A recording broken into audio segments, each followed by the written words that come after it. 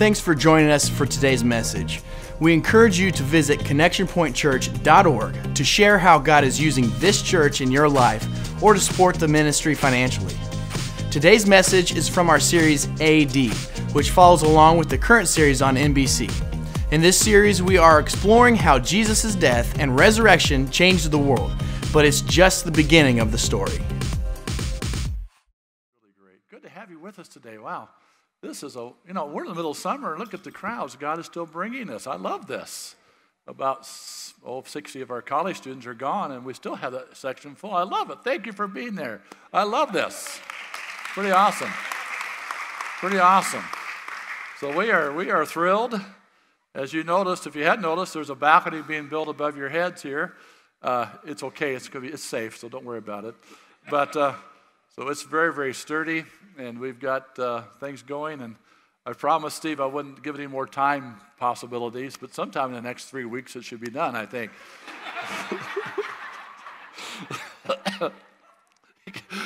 Every day, said, don't tell him that, Pastor. Don't tell him. We don't know how long.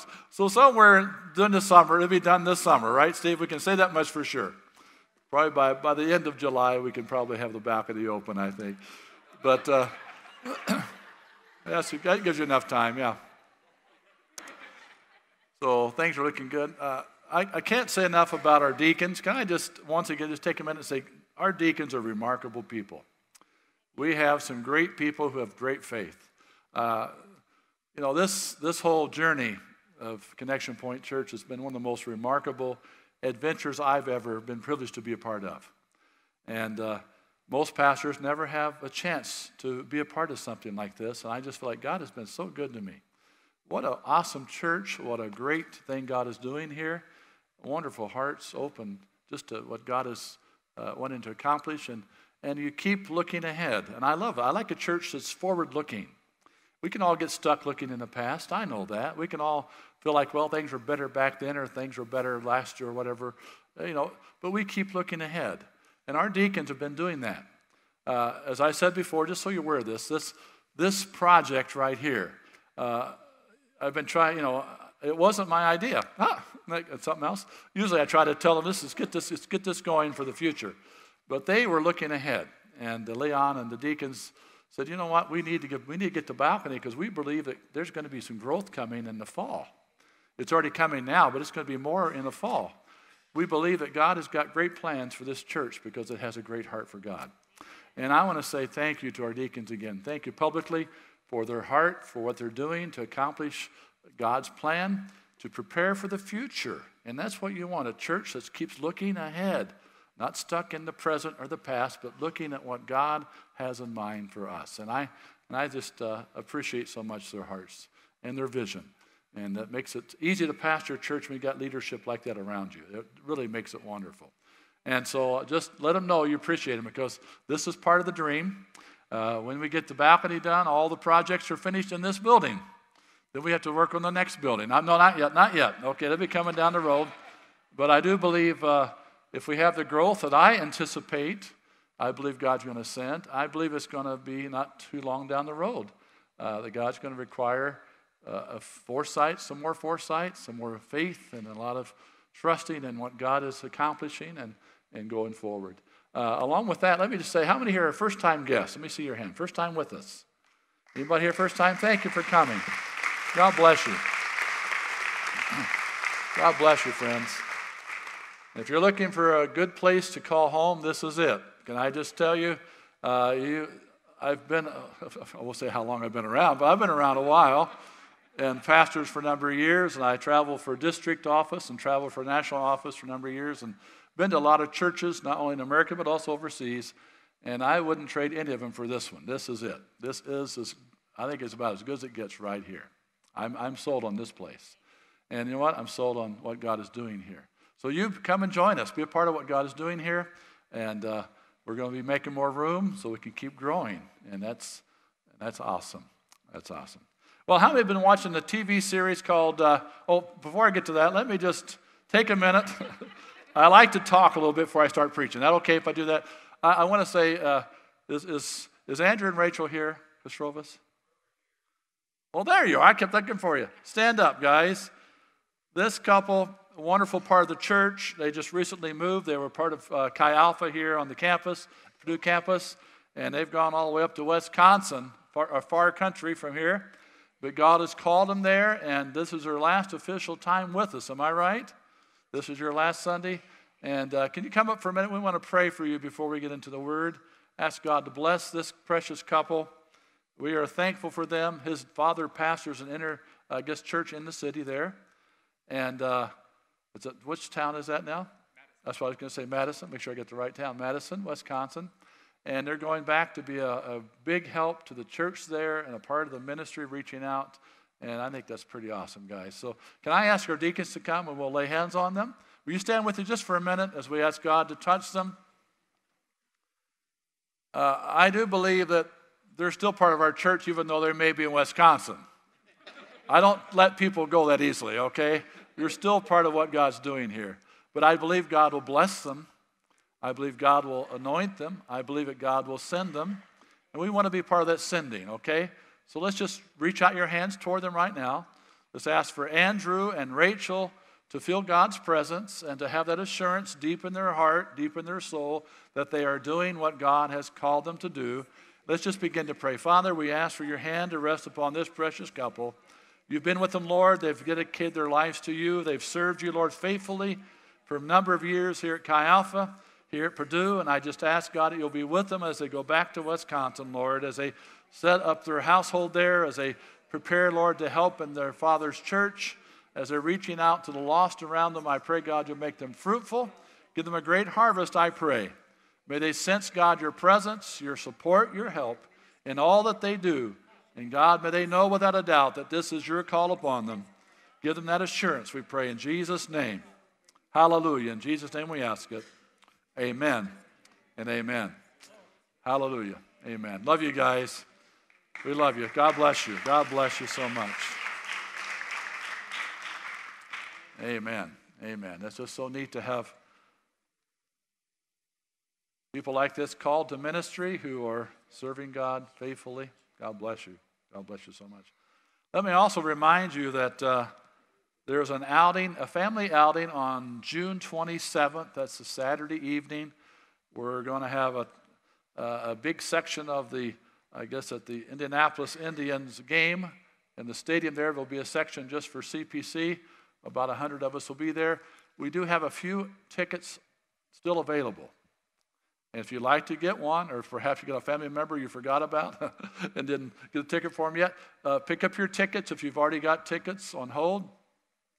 But we also want to know that there are extra tickets available. So we have a few left over. When they're gone, they're gone. We only had so many tickets that we could pick up. So uh, it will be a fun night. Sue and I plan to go. It's going to be a great time. So looking forward to fellowship with you and a lot of fun as well. So it's going to be great. Amen. So good to have guests with us from even from Illinois, some, some friends of, of Lee and Arlene. I guess actually not friends, but family members. Good to have you folks with us. God bless you. Pastors in Warren Peoria as well. So thank you for being here. God bless. Good to have you here today. This is a wonderful time in which we can follow the Lord, isn't it? These are not good, not easy times, but they're wonderful in the sense that God has a plan for all of us. As you've been watching the AD series, you've realized that, that God, you know, in the early church, boy, what an exciting adventure they had. I believe God's got the same adventure for us today. He wants us to just step out and have that kind of faith. Today's topic is called Too Hot to Handle. That's the sermon topic, Too Hot to Handle. People often wonder what God will say on the other side of eternity. When I get to heaven, I, of course, want to hear God say, Well done, good and faithful servant. I think that's what all of us want to hear. That's a pretty good thing to hear from God as we enter His presence. Living your life for the gospel is worth it. Can I say that again? Living your life for the gospel is worth it. Going to new places to share the good news of Jesus Christ is something you'll never regret because, because the greatest miracle, hear me, the greatest miracle God performs is change lives. When there's changed lives, people come into the kingdom. That is the greatest miracle you will ever, ever, ever see. Our mission team, Matt Zickman and and of course, Zach and the rest of them, uh, each of those members that went to the DR can tell you this, it's fresh on their mind, just firsthand. They came back and they saw change lives. It's awesome. Awesome. When you're transformed, you can't help but catch, catch a vision to go. To go. When you commit your lives to Jesus Christ, you commit to a lifelong adventure. And a great adventure to go where you've never been before. Sound like one of those space odysseys, doesn't it? To go where you've never been before. And that's what it is like. But soon I came to, when I came to the Lord, I didn't even think I'd be called to ministry. But then a few years later, I called to ministry, went prepared for at a, at a, Bible college in Missouri, and met my wife there. And of course, we got married there. And then, and then little did we ever expect, you know, the adventure started. I call it the. It's one of the great.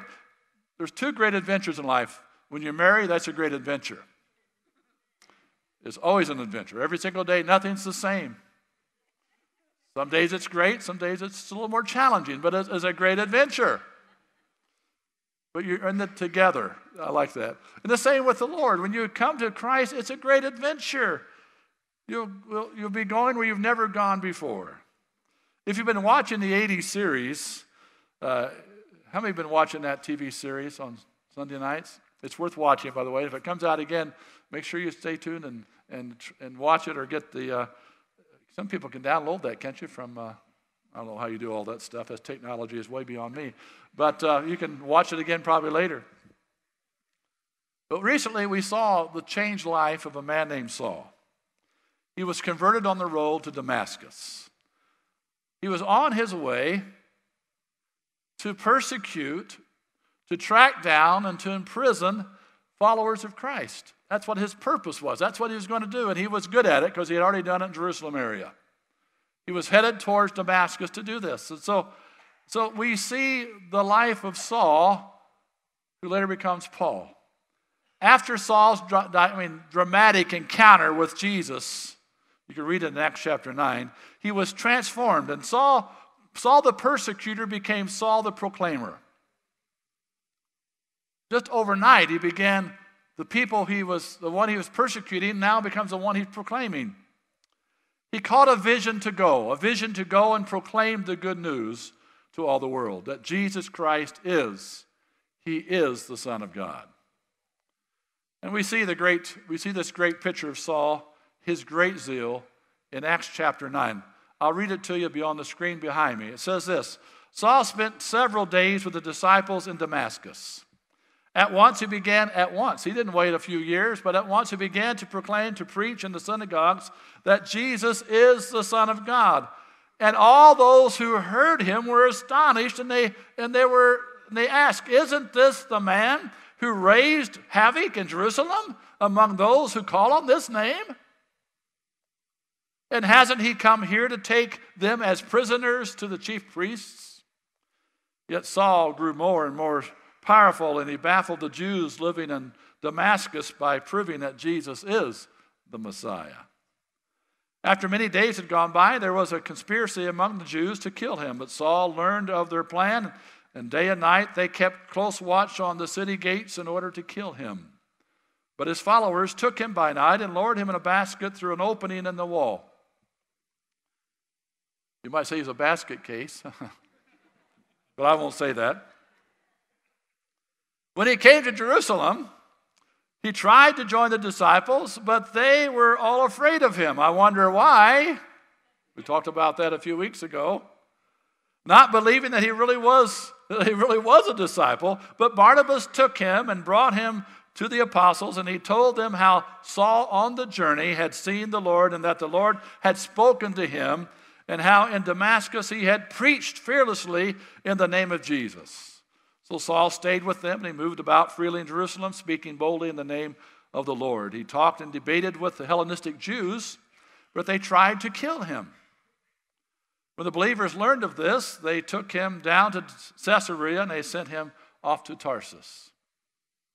Then the church throughout Judea, Galilee, and Samaria enjoyed a time of peace and was strengthened, living in the fear of the Lord and encouraged by the Holy Spirit. It increased in numbers. Wow. I want to talk to you about the urgency of the goal. G O. The urgency of the goal.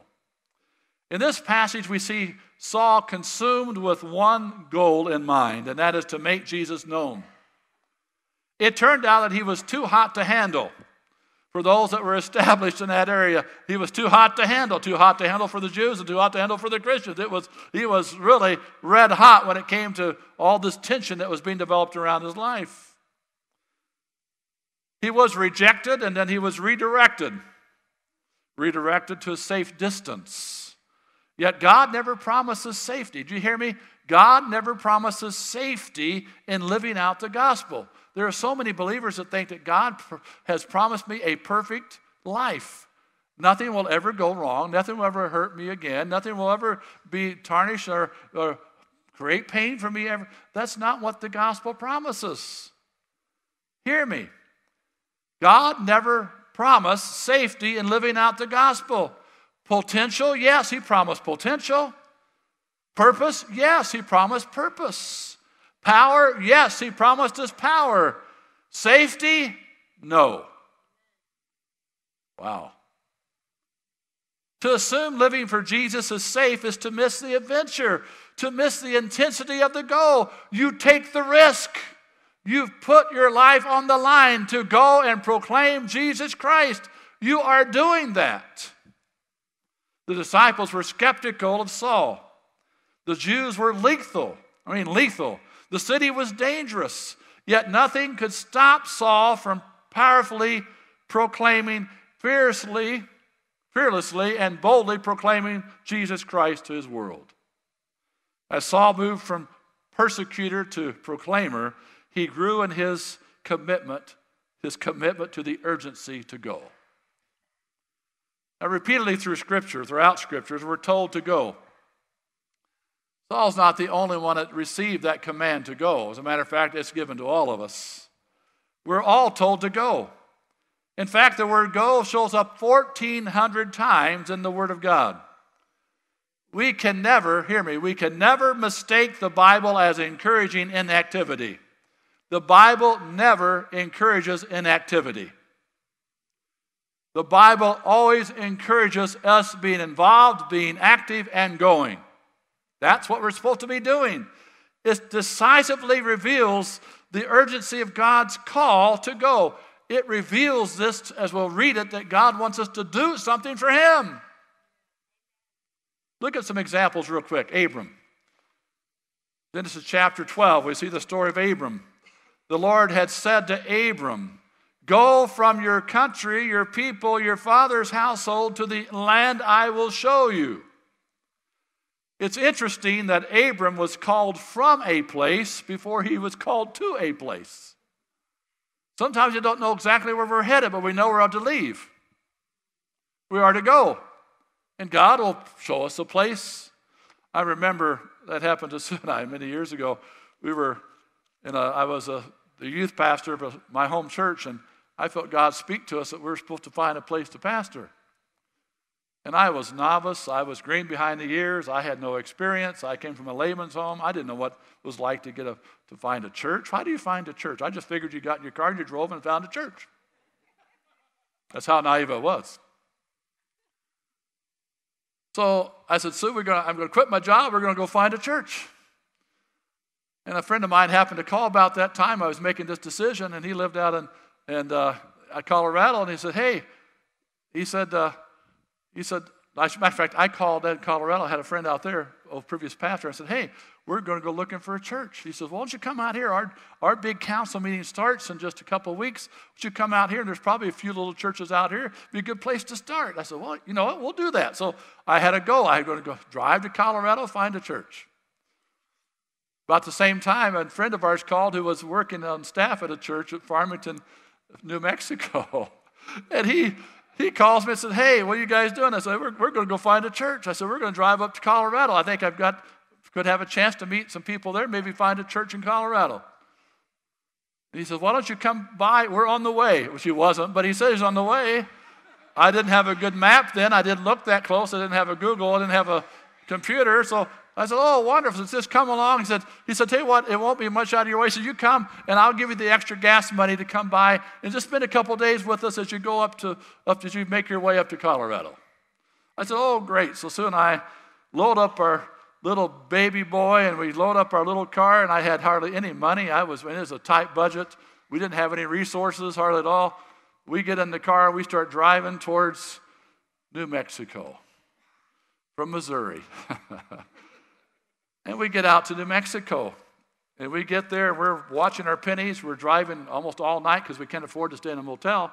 So we get to uh, Albuquerque, New Mexico, and it was early in the morning. And we sat there at the mall. We wait and wait till a decent hour to call somebody. And we call up Mr. Van Zant. He was the overseer of the churches in New Mexico. And I gave him a call at his home on Saturdays. You don't do that.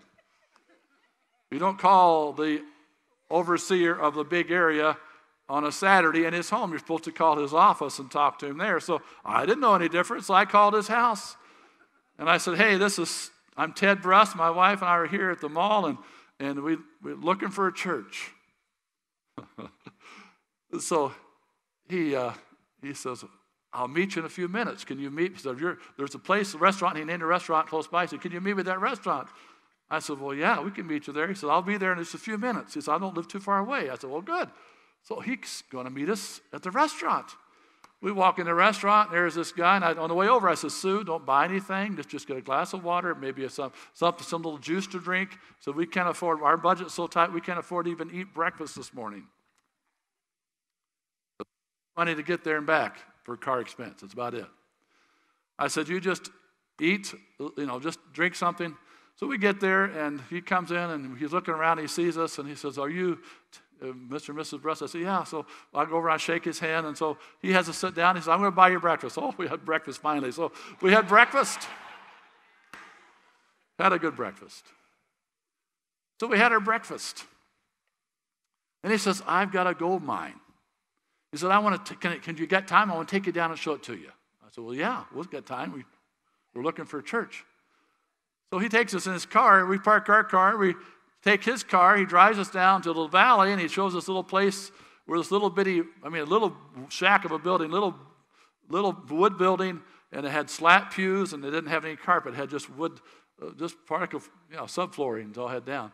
Had a bare light bulb hanging from the ceiling.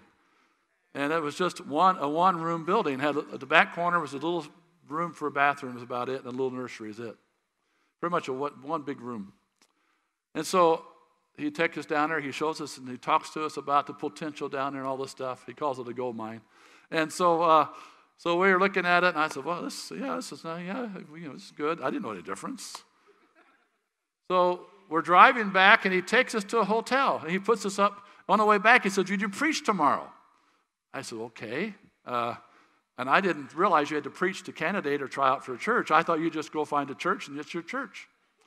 So I didn't, I didn't come with a sermon. I didn't come with anything at all to preach. I really wasn't ready. I didn't bring any sermon notes with me, but I had my Bible. I said, Well, yeah, I'll preach. He said, We need to preach twice tomorrow, Sunday morning and Sunday night. I said, Okay, I'll preach. So I feel like I've got to be up half the night studying now for, to get a message together. So, we, so he takes us to the hotel, and he puts us in the hotel, and, and Sue and I are just overwhelmed. We're sitting there looking at each other say, Wow, you know, this is, this is remarkable. This is something else. You know, this is, re- what is wow, this is fantastic. And about, about an hour later, bang, bang, bang, bang, bang on the door. Bang, bang, bang, bang, bang.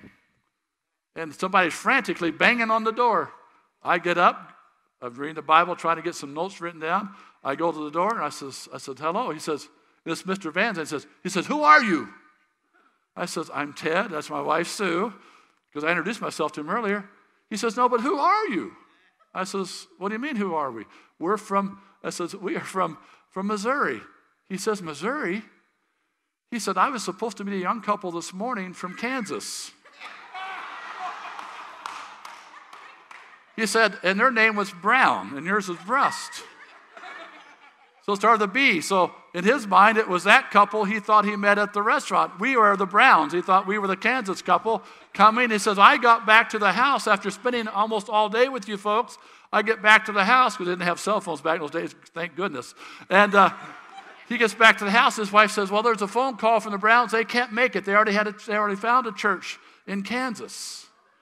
So he says, Who are you? I says, I'm Ted. That's Sue. Who are you? He says, Will you still preach tomorrow?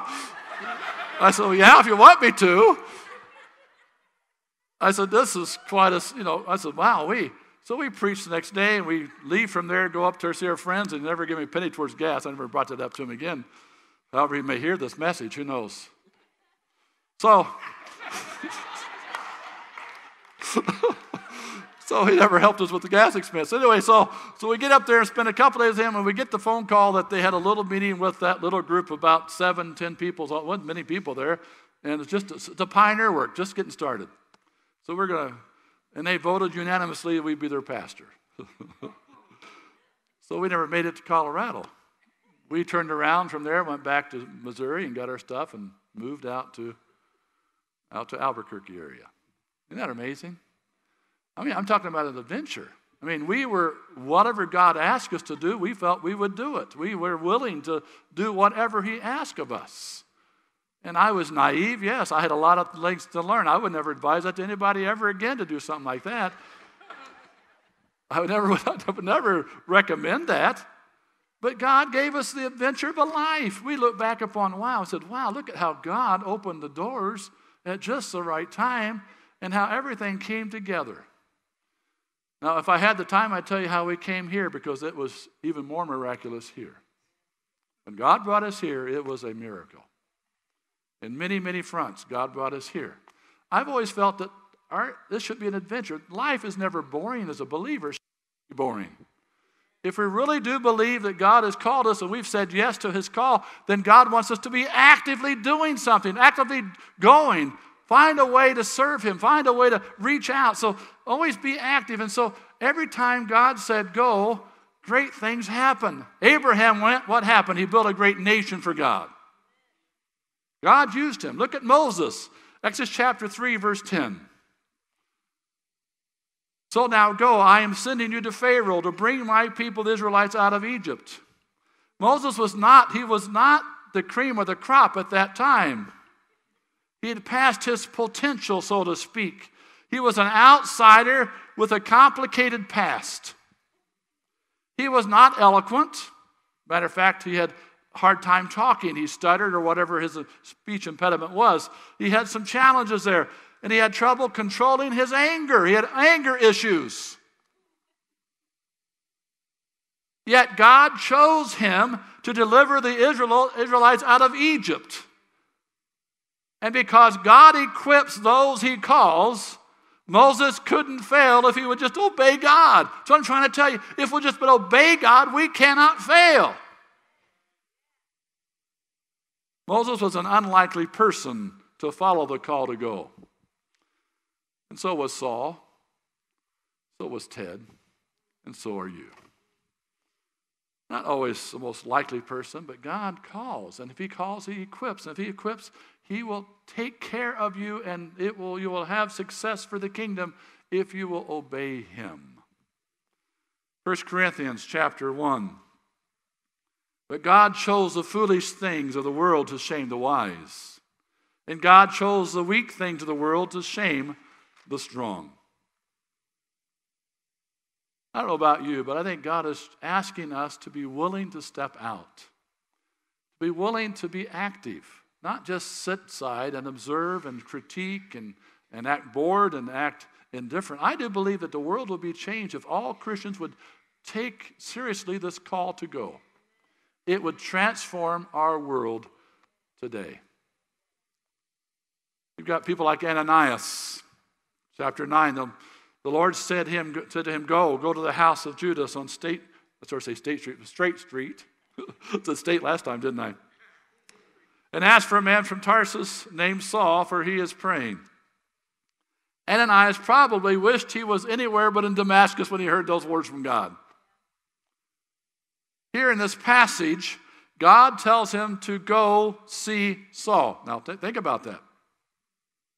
The man Saul to go see the very man whose purpose was to travel all the way to your hometown where you're living and to kill you. That's what he was coming to do. He was coming to kill Ananias and all of his friends who were believers that lived in Damascus. Now, if God had said go to someone like that, you would have a hard time going. I'm sure of that. Understandably, Ananias questioned God's plan. Who wouldn't question God's plan? Yet, we see God reaffirming his command in Acts chapter 9. But the Lord said to Ananias, Go, there it is again, this man is my chosen instrument to proclaim my name to the Gentiles and their kings and to the people of Israel, and I will show him how much he must suffer for my name. So God wanted Ananias to see the urgency of the goal. Even when it was dangerous and scary. I, you know, this world is dangerous and it's scary, but there's an urgency to get out there and proclaim the good news, to live Christ like, to have a lantern, to have a light, to have, to have this ability to touch our world. We must be active about what God has called us to do. And Ananias did go. Dangerous, yes. Scary, yes, but he went.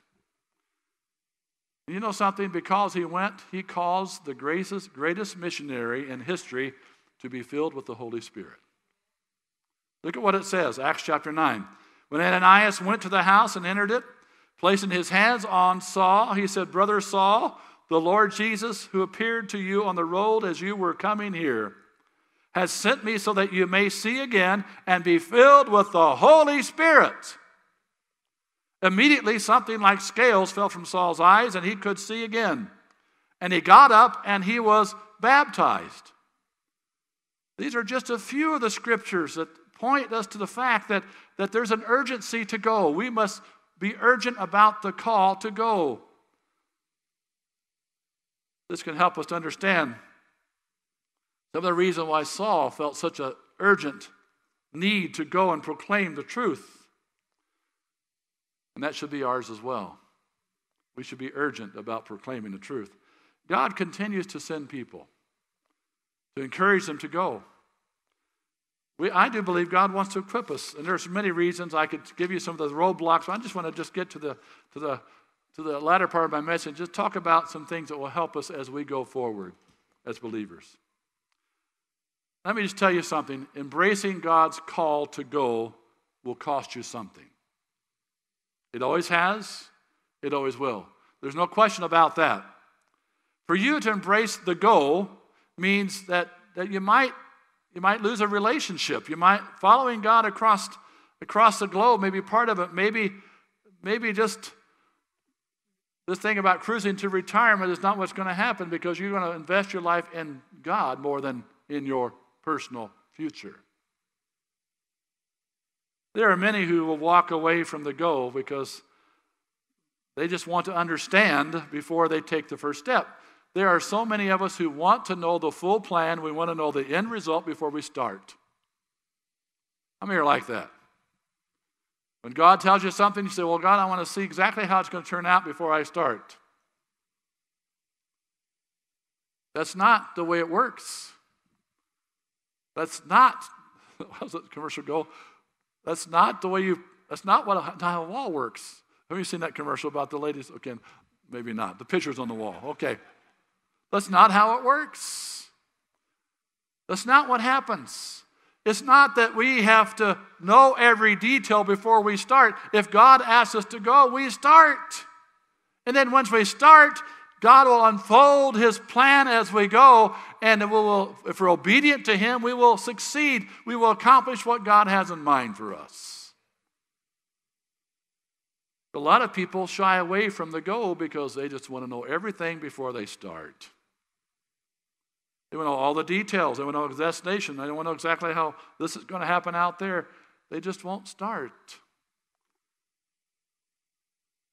God doesn't work that way. Whether it's the first step in overcoming an addiction, embracing deeper relationships with God, or serving in a greater way.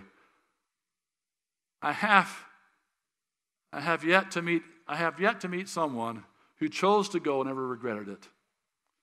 I regret none of the things that God allowed to come our pathway. Some were very painful, yes. Some were, and I wouldn't want to repeat them. I wouldn't sign up again for it necessarily, but by walking with Him, God took care of us. He provided for us, He met every need. God took care of us. He sure did. There's a song I, I want to just, it's called The Heavenly Vision. This song has meant a lot to a lot of believers who've gone through suffering over the years. The author's name is Helen Lemmel, L E M M E L. Helen wrote this song from her small government subsidized apartment. Her husband had left her a few years before because she had gone through uh, some health complications, and because of health complications, she became blind. And her husband left her. She had hardly any money to live. She had nothing much to this world. But God gave her these words, and she wrote them down Turn your eyes upon Jesus, look full in his wonderful face, and the things of earth will grow strangely dim in the light of his glory and grace. His word shall not fail you, he promised. Believe him, and all will be well. Then go to a world that is dying and his perfect salvation to tell. That's what she wrote. The reality is this that God has a goal for you, a goal for me, for every single one of us today. He isn't a passive God. You hear me? God is not a passive God, He's an active God. Jesus spoke about a Heavenly Father who loves the people of this world so much that he would go from the 99 and go out and find the one sheep that was lost. He is the one who chose this crazy, overzealous Pharisee named Saul to become his leader in the early church. A man who almost got himself killed two weeks into his preaching ministry. So no sooner he gets going, he almost gets killed. For most of us in this room, the goal isn't to become a missionary or to put your life on the line tomorrow. For many of you, the goal is to become a better parent. The goal is starting a faith filled conversation with, with perhaps your neighbor, people at work. The goal is to is writing a check for one of God's sons or daughters who are across the world being a missionary who needs support. For some of you, the goal is to get healthy so that God can give you a better goal. You won't have all the answers. We never do. If I had all the answers, I could make millions of dollars writing a book about all the answers for each person's life. You may not even know where the resources come from. You might even be called crazy by some of the folks around you. And you may even be terrified by the process because it is sometimes scary to be out away from everything that you're familiar with and follow the goal. But when you go, hear me, when you go, you don't go alone. In your going, there's going to be a greater awareness of Jesus Christ than you've ever had before. In your go, there's a greater sense of the reason for why you're here, for what God has as a purpose for your life as you go.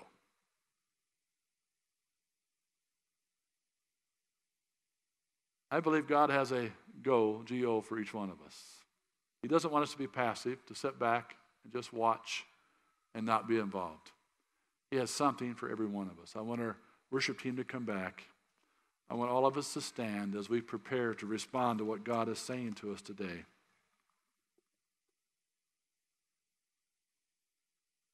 I want you to hear this carefully. This next few words I'm saying are very, very important, vitally important.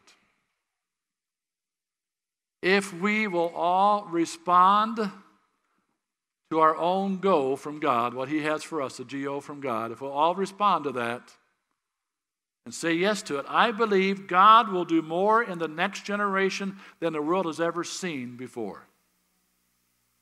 If all believers would just say yes to God and follow the go, technology has allowed us to bring the gospel to billions. Every people group in the world will have access to the gospel within the next 10 years. That has never happened before. Every people group will have the gospel in their language, either spoken or written. Even Hollywood's responding by, by putting literally millions of dollars into biblical epics. The AD series is one of those on television, reaching millions of people each week. Teenagers and young adults all around America, and all around the world, are longing to see God move. They're seeking God passionately. Our kids came back from camp this past few days, and they've had a wonderful week. God moved among them. They have a hunger for God. Desperate to live lives, desperate to live lives with the kind of fire that Saul had, that he lived with years ago. I believe is for us today. That fire, that vision, that, that goal, that call of God to move out for Him. It's here today. The church, I think, is ready. We know how desperate our times are. We are living in un, unprecedented times. And it's time for us to go. It's time for us to respond. It's time for each one of us to say yes to God's call in our lives. If each one of us will say yes to God when He says to go, if we'll let Him be the center of our lives, we will find ourselves in the midst of perhaps the greatest movement of God ever to come upon planet Earth. It can happen and it can start right here, starts right there in our lives. But it requires us stepping up, stepping out to follow God even when we don't know what the outcome will be. But it will change our world if we'll step out. Today is the day to go. Today is the day to respond to God's call in your life, in my life. Imagine what your family would be like if you would respond to God. What would it look like a month from now if you, as parents, would respond to God? What would it look like a month from now if every young person, every adult would respond to God? Well, how would that transform my family? Imagine what our churches would look like if every single one of us would say yes to God's call to go. We would have to build more than just a balcony. if everybody here felt the call to, to speak and to do and to be active for the kingdom, we would we'd have to build another building before you knew it, or have to go to two or three services because there's no place for the people. We'd have that many people looking and coming because this church is out there proclaiming, following the call to go. Imagine the difference this nation, what would it look like if every believer, if every church, if every family would listen to God and follow the goal? The goal. It would transform the landscape of our country. It would change the complexity of every community. It would heal so many wounds, so many things going on and so wrong in our culture today. If we as God's people would listen to the goal, He says, Go into all of your world. Proclaim the gospel Let's respond to God. Let's embrace what He has for us. We don't have to know the next thing. If you'll just say yes to Him and begin the journey, begin to be active, and He'll, un- he'll disclose things to you as you go along. He'll open those doors for you. You'll see His hand. You'll see what He has in mind for you. Let's be the church that will go. How many want to join me? Is that your heart's desire? Will you obey God? Will you listen to Him? Will you obey Him and not just be complacent and sit back, but you'll be a person who actually declares and speaks and, and shares the love of Christ to the world around you, your family, your neighborhood, your workplace, your community, your world. That's what God wants from us. Can I ask for those that want to go? You want to just follow God? You want to be obedient to what He says to you? You just step right out and just come and join me at the altar. If it's too many, if we got too many people here, just fill up the aisles as well. But I think it's going to be time for us to commit our lives. I want to be like Saul. I want to be like the early Christians, don't you? I want to be one of those people that transform my world because I'm willing to obey what Christ is asking of me. I'm willing to obey the command to go into my world and preach and share the gospel. Anyone else be willing to step out, make a deeper commitment, a deeper commitment. Let's respond to God's word today, friends. Let's embrace his call to us. He has a call for you. He has a command to go for you. Trust him. Obey him. You'll never be sorry you did. You'll be glad you followed.